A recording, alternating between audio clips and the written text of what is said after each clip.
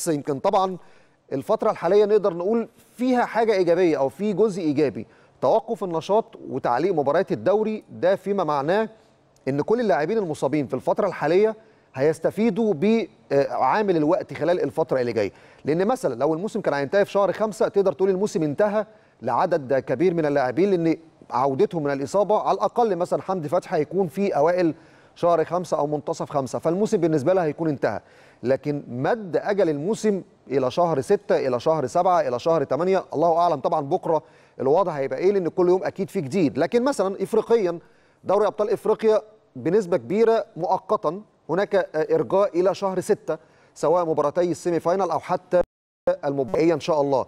فمعنى كده إن حمدي فتحي في الفترة الحالية وبيستكمل برنامجه التأهيلي إن شاء الله على شهر ستة أو خلال الفترة الجاية هيكون جاهز لأنه أحد الأعمدة اللي موجوده في القائمه الإفريقية.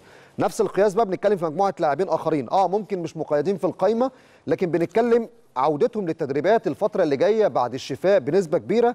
ده هيساهم إن شاء الله بوجود عناصر قوية جدا وتدعيم قوي لقائمة الفريق خلال الفترة الجاية. بنتكلم في سعد سمير بنتكلم في محمد محمود بالإضافة لحمدي فتحي اللي يعتبر هو أقرب اللاعبين بالنسبة للمشاركة خلال الفترة اللي جاية. طبعا كريم نيدفيد لسه في مساحة وقت خلال الفترة اللي نبدأ نقول أو نقدر نقول إن المرحلة الجاية النيدفيد هي المرحله الأولى من العلاج الطبيعي طبقا طبقا طبعا لتصريحات دكتور خالد محمود طبيب فريق النادي الأهلي. لكن دكتور خالد كان ليه تصريح مهم جدا وقال إن إحنا متواصلين مع الأجهزة الطبية المسؤولة عن المصابين في النادي بعد طبعا حظر الطيران خلال الفترات الأخيرة إن كان في عدد من اللاعبين بيسافروا.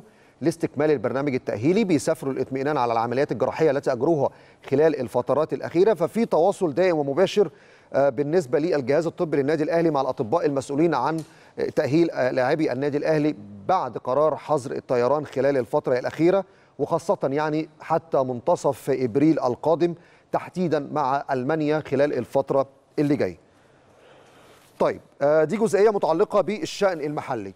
الشأن الأوروبي أو الشأن العالمي يمكن سريعا كده أقول لكم على شوية عناوين أو مجموعة تفاصيل رابطة الدوري الأسباني بتبحث مع جمعية اللاعبين الأسبان سبل استكمال الموسم خلال الفترة اللي جاية.